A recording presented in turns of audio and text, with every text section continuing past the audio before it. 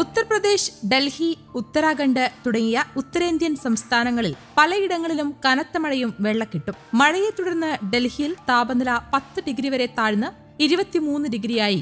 ഡൽഹിയിൽ മഴയ്ക്ക് വീണ്ടും സാധ്യതയുണ്ടെന്ന് കേന്ദ്ര കാലാവസ്ഥാ നിരീക്ഷണ കേന്ദ്രം അറിയിച്ചു. രണ്ട് ദിവസം മഴ തുടരുമെന്നാണ് പ്രവചനം. നഗരത്തിൽ വെള്ളക്കെട്ട് രൂക്ഷമായതോടെ ജനം കടുത്ത പ്രയാസത്തിലാണ്. ആനന്ദ് വിഹാർ വസീറാബാദ് ഐ എൻ ഐക്കും എയിംസിനും ഇടയിലുള്ള റോഡ് മെഹ്റൌളി ബദപ്പൂർ റോഡ് തുക്ലഖാബാദ് സംഘം വിഹാർ കിരാരി റോഹ്തക് റോഡ് തുടങ്ങി നിരവധി സ്ഥലങ്ങളിൽ വെള്ളക്കെട്ട് രൂപപ്പെട്ടു. ഉത്തർപ്രദേശിൽ മധുര ഉൾപ്പെടെയുള്ള സ്ഥലങ്ങളിലെ ജനവാസ മേഖലകളിൽ വെള്ളം കയറി. ഉത്തരാഖണ്ഡ് ഉത്തർപ്രദേശ് മധ്യപ്രദേശ് രാജസ്ഥാൻ ഗുജറാത്ത് എന്നീ സംസ്ഥാനങ്ങളിൽ ഓറഞ്ച് അലർട്ട് പ്രഖ്യാപിച്ചിട്ടുണ്ട്. വെള്ളിയാഴ്ച അർദ്ധരാത്രി മുതലാണ് ഡൽഹി യു പി ഉത്തരാഖണ്ഡ് മേഖലകളിൽ കനത്ത മഴ തുടങ്ങിയത്. ഡൽഹിയിൽ രണ്ട് ദിവസമായി ശക്തമായ മഴ തുടരുകയാണ്. കനത്ത മഴയിൽ പലയിടത്തും വെള്ളക്കെട്ടും ഗതാഗത കുരുക്കും ഉണ്ടായി. എൺപത്തി ഏഴ് ദശാംശം രണ്ട് മില്ലിമീറ്ററാണ് ഡൽഹിയിൽ ലഭിച്ച ഉയർന്ന മഴയുടെ അളവ്.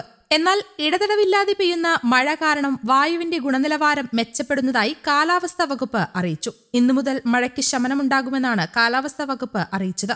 ശക്തമായ മഴയെ തുടർന്ന് അഞ്ച് സംസ്ഥാനങ്ങളിലാണ് ഓറഞ്ച് അലർട്ട് പ്രഖ്യാപിച്ചിരിക്കുന്നത്. കനത്ത മഴയിൽ പലയിടത്തും വെള്ളക്കെട്ടും ഗതാഗതക്കുരുക്കും ഉണ്ടായി. മഴയുടെ പശ്ചാത്തലത്തിൽ ട്രാഫിക് പോലീസ് ഗതാഗത മുന്നറിയിപ്പ് നൽകിയിട്ടുണ്ട്. സാധാരണ അന്തരീക്ഷ താപനില പത്ത് ഡിഗ്രിയായി കുറഞ്ഞതായും കാലാവസ്ഥാ വകുപ്പ് അറിയിച്ചു.